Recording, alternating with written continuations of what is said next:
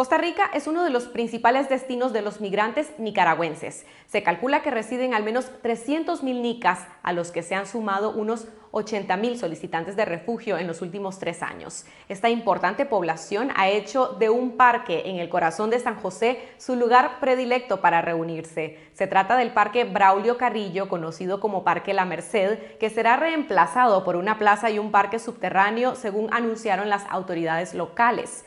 Veamos lo que piensan sus visitantes del cambio en este espacio público, conocido también como el Parque de los Nicaragüenses.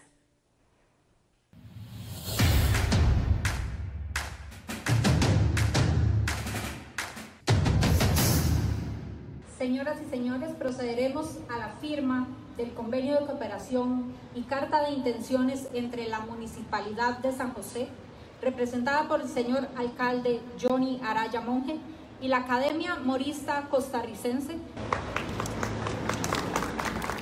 El pasado 30 de septiembre se firmó en San José un convenio que permitirá la construcción de una plaza que alojará un mausoleo con los restos de tres héroes nacionales costarricenses.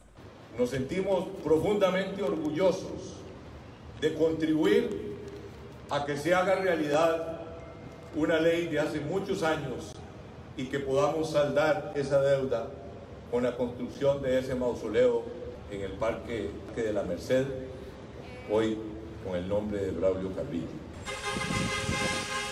El parque también es conocido en Costa Rica como el Parque de los Nicas, ya que por décadas ha sido punto de encuentro de los migrantes nicaragüenses, la comunidad extranjera más grande del país.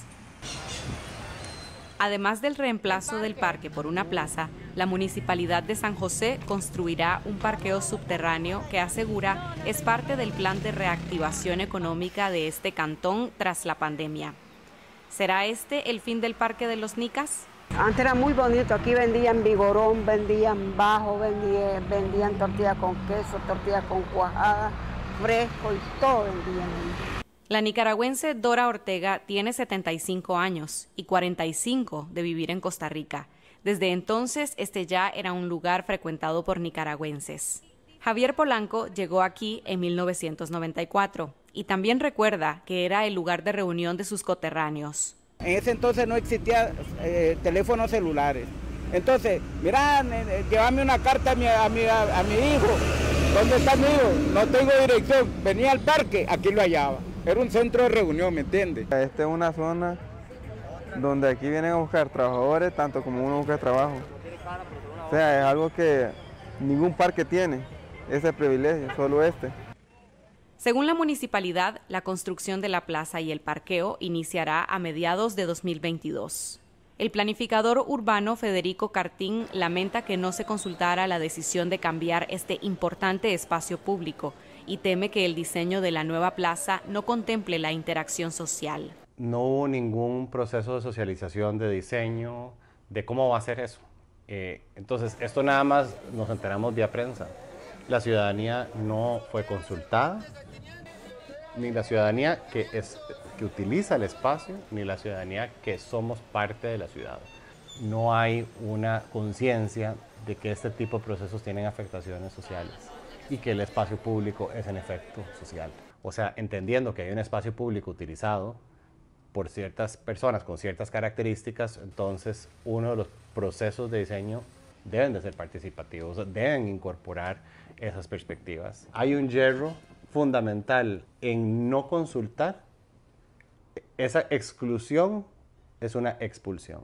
Aún no se escoge el diseño final de la plaza, pero la municipalidad afirma que la renovación no impedirá que el parque sea aprovechado por sus actuales usuarios para comer, reunirse, charlar y apostarse en la zona. Como no va a haber un cambio trascendental no, y, no, vamos a eliminar eh, lo que hoy por hoy es el parque y todas las actividades que usted menciona, cómo se manejan, este, esperemos que eso no vaya a cambiar.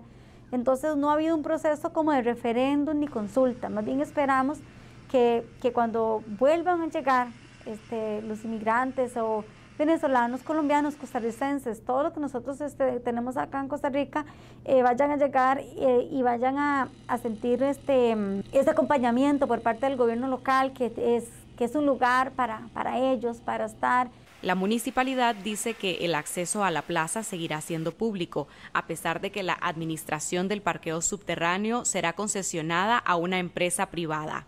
Algunos usuarios del Parque La Merced piden que se mantengan algunas condiciones en la nueva plaza para poder visitarla y disfrutarla. Las bancas que están, los asientos que están, la seguridad principalmente.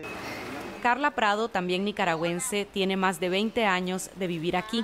Su mamá vendía en La Merced y ahora ella también ofrece refrescos y frituras, a pesar de que las autoridades prohíben las ventas ambulantes. Carla se ubica en la parada de buses contigua al parque, porque está cerrado desde que empezó la pandemia, a inicios de 2020, como parte de las restricciones sanitarias y el distanciamiento social para evitar los contagios. ¿Qué es lo que pide usted? Que abran el parque de todo, para que la gente se vayan a sentar y de todo, que vayan a comer y de todo. Necesitamos que el parque Braulio Carrillo sea, sea abierto, porque necesitamos todos los nicaragüenses eh, visitarnos aquí con la familia, reunirnos con la familia, con los amigos. Y eso todo eso nos hace falta porque ahora estamos afuera del parque.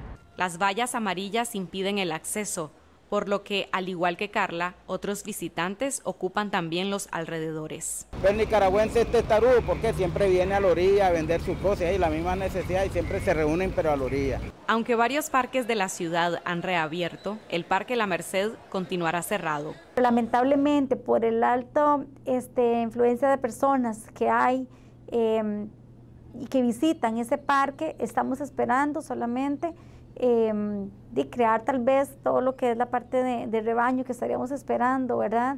En diciembre y esperando que nos indica el Ministerio de Salud, ¿verdad? No es una decisión del gobierno local, sino de las autoridades sanitarias. Mientras tanto, la noticia de la inminente sustitución del histórico parque preocupa a algunos nicaragüenses. Yo sí oigo decir que van a hacer una plaza allí, pero como hablan tantas cosas, no puedo decir que van a hacer. Pero el parque es muy bonito porque es un parque que lo, visitan los nicas y los ticos. Este es el parque de los nicas. Así lo bautizaron ellos, parque de los nicas. ¿Va a dejar de existir entonces? Y ahí, pues si hacen otra cosa ya no va a existir. Otros, como Javier, son más optimistas. La plaza va a existir, pero a los nicas nunca lo van a quitar, se lo aseguro.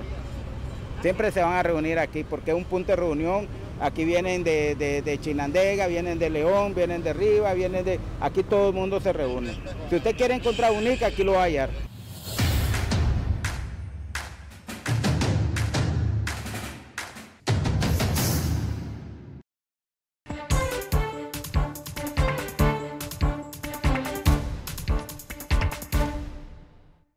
Gracias por ver este video. Con tu sintonía podemos vencer la censura televisiva en Nicaragua. Si aún no lo has hecho, suscríbete a nuestro canal en YouTube. Necesitamos tu apoyo en Confidencial para seguir informando a nuestras audiencias y divulgando la verdad.